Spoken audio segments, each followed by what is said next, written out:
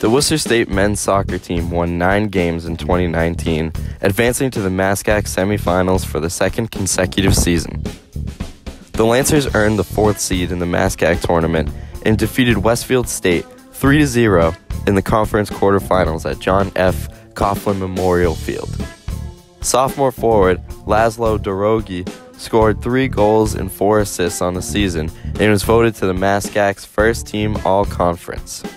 Henry Gilmet, Prince Gaio, and Ethan Melia were all named to the second team all conference.